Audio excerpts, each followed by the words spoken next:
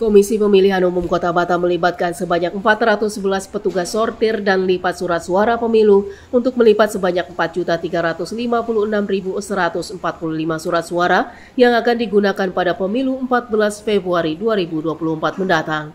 Para petugas sortir dan lipat surat suara tersebut terbagi dalam 41 kelompok mereka bekerja selama 14 hari sejak 4 Januari 2024 dengan jam kerja mulai pukul 8 waktu Indonesia Barat hingga pukul 17 waktu Indonesia Barat. Petugas sortir dan pelipat surat suara menilai proses pelipatan surat suara tahun ini lebih mudah dibandingkan tahun 2019 lalu karena dilakukan secara berkelompok.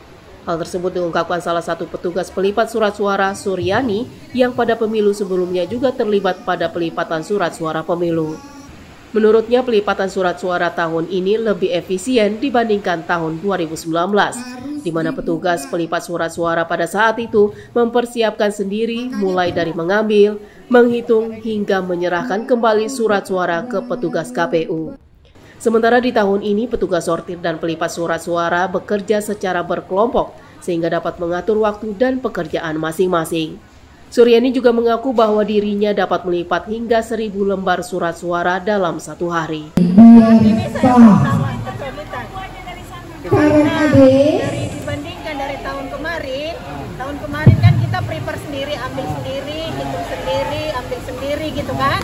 Kalau sekarang karena kita kerja sih kita lebih enak mengatur waktunya. Jadi mengatur kerjanya lebih ini. Jadi yang bisa diatur sedemikian rupa jadi bisa nggak terlalu lama menunggu gitu. Kalau untuk walaupun masih menunggu tapi lebih lama lagi yang kemarin. Cuma mungkin di sini kesulitannya karena kita masing-masing orang berbeda kecepatan jadi bisa dijadikan sama. Gitulah gitulah ini saling kenal semua, Bu? Tidak. Tidak ya? Baru, Tidak. baru kenal di sini? Baru kenal di sini. Oke. Okay. Sehari bu bisa lipat berapa, Bu? Belum. Sebelumnya? Hari ini belum. Sebelumnya belum. saya bisa satu kotak sebelum sebelum makan siang dan satu kotak setelah makan siang. Jadi Itu seribu. Seribu satu hari sebelumnya? Satu hari bisa. Kenapa mau melipat sore ini untuk kira Daripada di rumah nggak ada kegiatan. Oh sebelumnya memang nggak ada kerjaan? Nggak kerja ibu rumah tangga biasa, anak-anak udah pada besar. Ibu asli mana? Bu? Saya asli Medan. Nggak tinggal di Batam di mana? Di Sagulo.